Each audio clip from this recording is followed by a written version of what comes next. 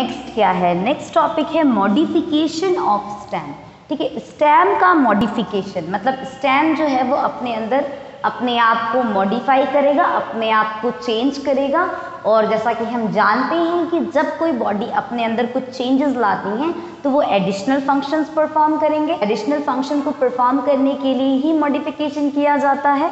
सो देखिए स्टैम जो है उसका सबसे पहला जो मॉडिफिकेशन होता है बेटा, सबसे पहला मॉडिफिकेशन किस लिए होता है? स्टोरेज ऑफ़ फ़ूड के लिए होता है। किसके लिए होता है? स्टोरेज ऑफ़ फ़ूड के लिए सबसे पहला मॉडिफिकेशन किया जाता है।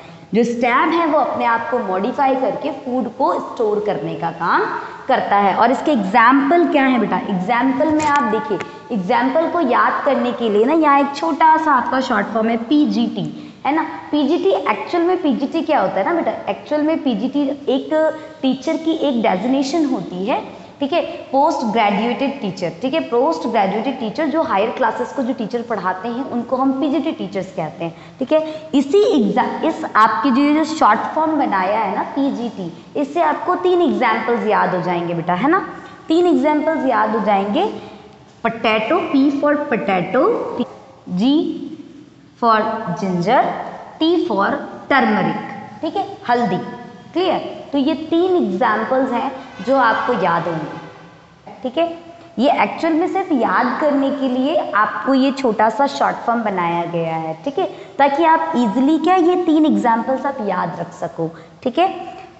पी से पोटैटो कह सकते हैं जी से जिंजर कह सकते हैं टी से टर्मरिक कह सकते हैं, ठीक है? तो ये पोटैटो जिंजर टर्मरिक ये सब क्या है बेटा? ये सब ना अंडरग्राउंड स्टैम है। क्या है? अंडरग्राउंड स्टैम होते हैं। ये तीनों।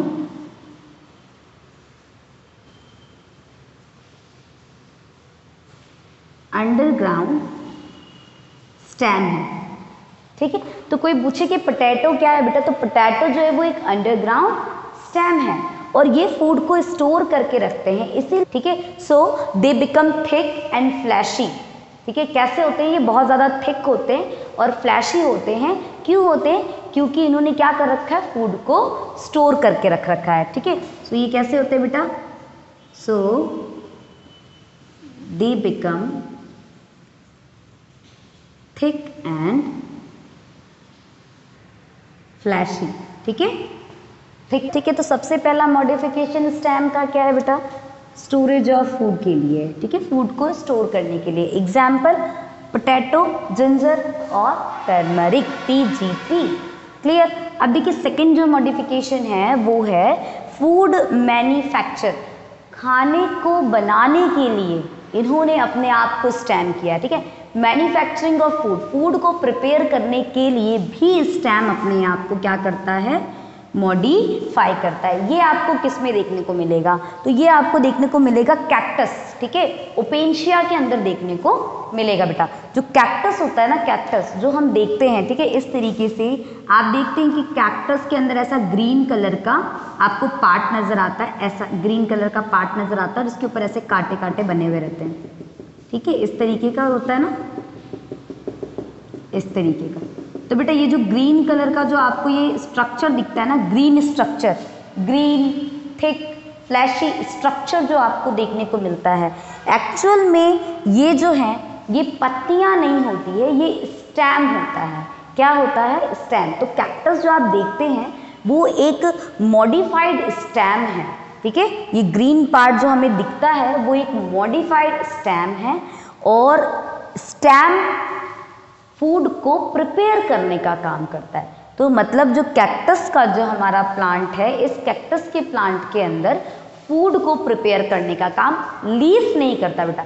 लीफ जो है वो नहीं होती हैं, जो उसके स्टैम होते हैं, वही लीफ के जैसे एक्ट करते हैं। ठीक है? जो कैक्टस का जो स्टैम है, वही स्टैम लीफ लाइक स्ट्रक्चर बिल्कुल ग्रीन कलर का स्ट्रक्चर देखने को मिलता है। ग्रीन फ्लैशी थिक स्ट्रक्चर ठीक है? और एक क्या करता है? ये एक्ट करता है एज अ लीफ पत्तियों के जैसे ही एक्ट करता है और जैसे पत्तियाँ फोटोसिंथेसिस करती हैं और फ़ूड को प्रिपेयर करती हैं, उसी तरीके से ये कैक्टस के अंदर, ये जो हमारा लीफ लाइक स्ट्रक्चर जो देखने को मिलता है ग्रीन स्ट्रक्चर ये स्टैम होता है और यही हमारे फ़ूड को प्रिपेयर करने का काम करता है।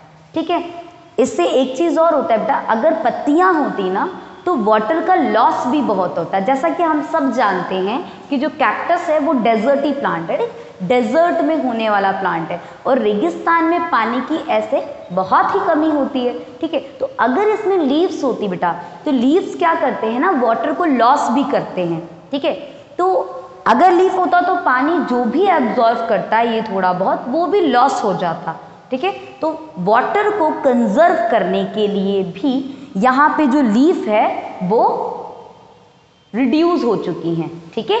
और लीफ रिड्यूस हो गई हैं और लीफ का जो काम है, वो स्टैम्प करता है, ताकि वाटर का लॉस भी ना हो सके, ठीक है? क्योंकि ये डेजर्ट इलाके में रहते हैं और फ़ूड का प्रिपरेशन भी स्टैम्प करते हैं, दोनों चीज़ें। तो ये मॉडिफिकेशन आपको याद रखना है बेटा। उसके बाद देखिए थर्ड जो है स्टैम स्टैम्प जो है, वो डिफेंस भी करता है. मतलब जो हमारे प्लांट्स हैं, उनको प्रोटेक्ट करने का भी काम करता है. डिफेंस कैसे करते हैं? देखिए, इसका एग्ज़ाम्पल देखिए. जैसे बुगनविलिया बुगनविलिया एक एग्ज़ाम्पल है, जिसमें आपको देखने को मिलेगा कि जो जो स्टैम है, वो किस तरीके से अपने आप को मॉडिफाई करते हैं. ठीक है? प्लांट को प्रोटेक्ट करने के लिए। स्टैम के अंदर जो बर्ड्स होते हैं बेटा, है ना? स्टैम के अंदर जो आउटग्रोथ निकलती है ना, बर्ड ऑफ़ द स्टैम, वो जो बर्ड है बेटा, वो कन्वर्ट हो जाते हैं बिल्कुल शार्प पॉइंटेड ठीक है? वुडी स्ट्रक्चर के अंदर, जिसको हम कहते हैं थॉर्न्स क्या कहते हैं? थॉर्न्स कहते हैं, ठीक है? सो देखिए यहाँ पे bird in the stems are modified into hard pointed sharp structure called thorns ठीक है? तो जो स्टैम है वो अपने आप को थॉर्न्स में कन्वर्ट कर देते हैं पॉइंटेड हार्ड स्ट्रक्चर में कन्वर्ट करते हैं। आपको ऐसे कांटे नज़र आएँगे स्पाइंस नज़र आएँगे, ठीक है? ये जो थॉर्न्स है बेटा, ये थॉर्न्स क्या करता है? ये प्लांट को प्रोटेक्ट करने का काम करता है, ठीक है? प्लांट को किससे प्रोटेक्ट करता है? एनिमल्स से प्रोटेक्ट करता है, ठीक है? एनिमल से प्रोटेक्ट करता है कि ताकि जो एनिमल्स हैं वो इन प्लांट्स को खा नहीं पाए, ठीक है? काटे रहेंगे, अगर एनिमल आएगा तो वो उसके स्किन पे चुप जाएगा, ठीक है? और वो उसको खा नहीं पाएगा। तो प्लांट को खा ना पाए एनिमल्स इसके लिए जो प्लांट्स हैं, वो उसके जो स्टैम्प होते हैं, वो अपने आप को मॉडिफाई करते हैं स्पाइंस में थॉर्न्स में, ठीक है? तो ये क्या थे हमारे स्टैम्प के मॉडिफिकेशन थे? पहला स्टैम्प का modification underground stem stem food को स्टोर करने का काम करता है। ठीक है अंडरग्राउंड स्टैम्प्स होते हैं कुछ, जिसमें एग्ज़ाम्पल है पोटैटो जंजर टर्मरिक ठीक है सेकेंड है कि जो स्टैम है वो फ़ूड को मैन्युफैक्चर भी करता है।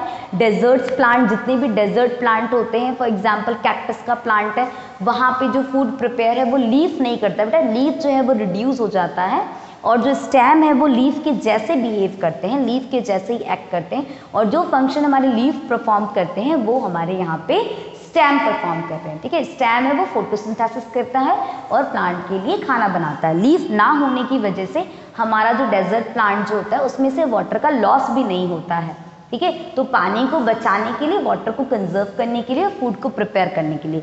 ये जो हमारे जो कैप जो स्टैम है, वो अपने आप को मॉडिफाई करते हैं।